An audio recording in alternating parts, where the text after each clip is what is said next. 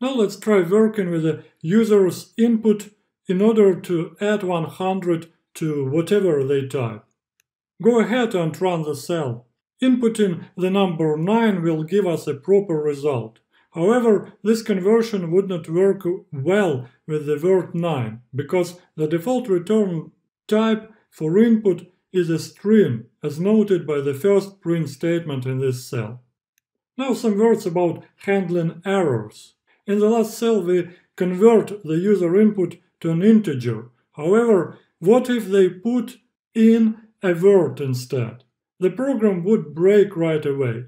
As a developer, we must assume that the user won't put the proper information that we expect them to.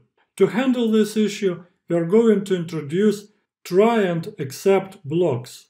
Try and except are used to catch errors. It works by trying to run what is inside the try block.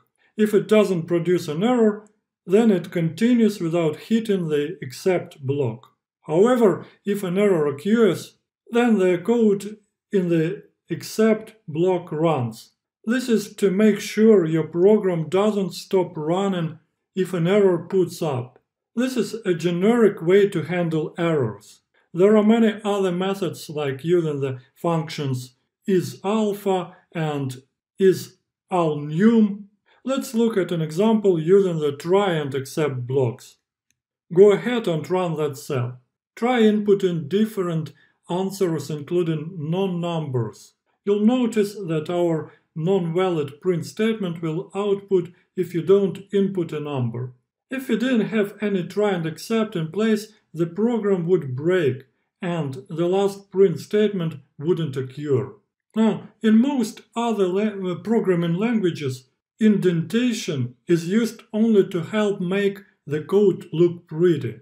For Python, though, it is required for indi indicating a block of code.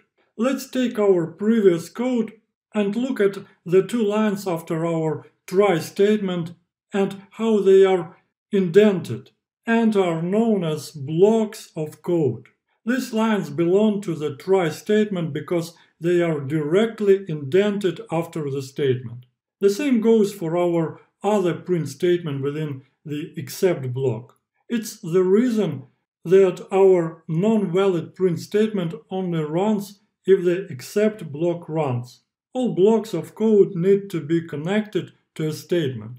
You can't indent a section randomly. And please note that indents must be consistent.